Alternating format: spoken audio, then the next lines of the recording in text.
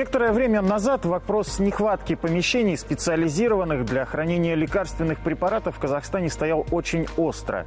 Препараты хранили в приспособленных помещениях, оставшихся где-то еще с Советского Союза. Особенно остро вопрос стоял на юге Казахстана. И вот некоторое время назад в главном городе Южного Казахстана построили специализированный огромный 6 тысяч квадратов склад класса А для хранения лекарственных препаратов. Здравствуйте, это программа «Транспорт и логистика». Меня зовут Дмитрий Олейников, и сегодня о логистике фармацевтики.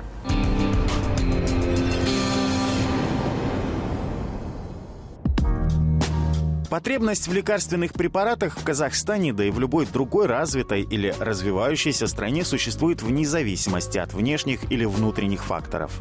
Болеть человеку свойственно, равно как и свойственно современному жителю планеты лечить хвори лекарствами, кое сегодня во множестве выпускают многочисленные фармацевтические компании. За последние 10 лет лекарств казахстанцы стали покупать в 4 раза больше. Как следствие, увеличились и потребности в специализированных складах для хранения принято решение в конце 2010 года построить современный склад класса А, который будет отвечать всем требованиям надлежащей дистрибьюторской практики GDP. И мы в э, середине 2013 года одним из первых по Казахстану получили сертификат Минздрава по GDP. Э, в этом году уже повторно будем защищать это самосоответствие э, данному сертификату. И ближе к осени будем подавать Минздрав дополнительно э, заявку на проведение аудита по GDP. Хранить большие партии лекарств просто в приспособленном помещении не получится. Фармпрепараты – продукт капризный. Изменились в помещении влажность или температура, лекарство пришло в негодность. Ну и, как следствие, весь бизнес на смарку.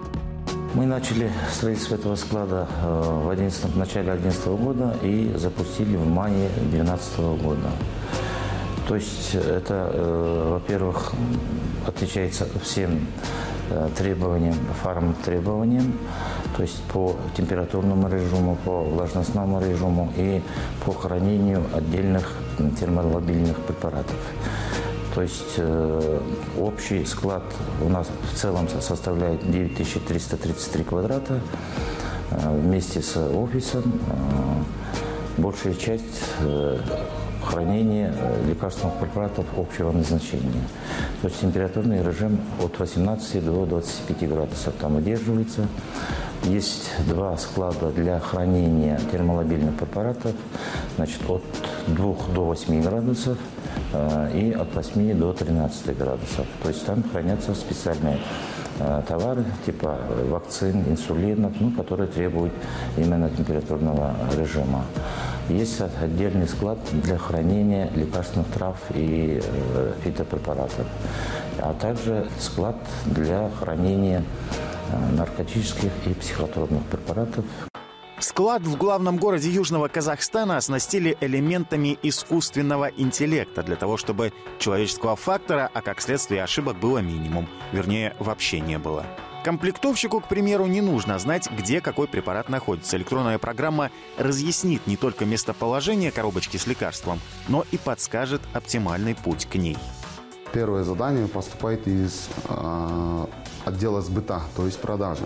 Как заявка спускается, э, ход необратим, все, уже этим мы занимаемся, дальше мы. Э, в первую очередь э, приходит задание на набор какой-нибудь заявки. То есть через эту программу она сама все рассчитывает, куда подойти, то есть строит логику, быстрее собрать самый короткий путь к этому товару. И, и не надо э, наборщику, кто вот набирает, э, знать, где этот товар лежит, потому что в терминале сбора данных, ТСД мы называем корпус, там есть э, указание, подойди к такому-то стеллажу, э, такому-то полке и возьми такой-то препарат с такой-то серии, то есть тут ошибиться никак нельзя. Полностью программа все контролирует, каждую ошибку, каждое движение, и мы можем полностью дать отчет когда вот э, иногда бывает, нам говорят, вот это, вот этого конкретного э, пользователя или сотрудника дать отчет. Только на одном этом складе хранится больше 7 тысяч наименований лекарственных препаратов. Сюда их поставляют с 90 заводов Европы, Содружества независимых государств, Америки, Индии. Ну и ими же, собственно, лечатся жители нашей большой страны. Приемном отделении каждый день обрабатывают около фуры лекарств. Препараты принимают фармацевты и грузчики. Они же выявляют просроченную или негодную продукцию. Ее направляют в карантинную зону, ну и там она находится до момента, пока не будет решено, что с ней делать. В любом случае, некачественные лекарства на прилавок ни в коем случае не попадут. Приемка у нас осуществляется по качеству, по количеству лекарственных средств. Также осуществляется приемка по серийной и по сроку годности. У нас сначала открывается завеса, потом мы смотрим санитарное состояние машины. То есть машина должна быть чистой, потому что это лекарственное средство, оно должно быть санитарным, соблюдаться санитарное состояние машины. После этого уже выгружается товар, считаем пока количество вместе.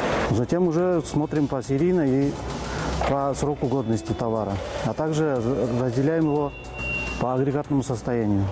Одновременно с решением о строительстве фармацевтического склада в компании приняли решение и о создании собственного перевозчика. Возить лекарства задача такая же непростая, как и их хранение. В обычной фуре или легковушке их не повезешь. Требования у нас жесткие, э, то есть есть определенные параметры. Э, каждый препарат э, требует к себе определенного внимания. Да? То есть при перевозке должна соблюдаться температура. Есть препараты, которые должны перевозиться от плюс 2 до плюс 8 в этом диапазоне. Есть группа препаратов, которые должны перевозиться от плюс 8 до плюс 15. И, соответственно, есть третья группа, которая перевозится при температуре от плюс 15 плюс 25.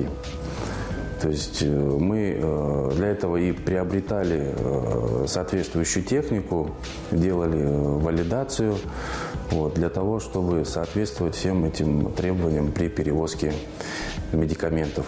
Для того, чтобы наши покупатели в итоге понимали, что они берут медикаменты, те, которые были привезены и хранились в соответствующих условиях компании-перевозчики создали 34 рабочих места. Лекарства возят на 28 единицах автомобильной техники. Сегодня уже не только на юге и в Казахстане, но и за рубежом.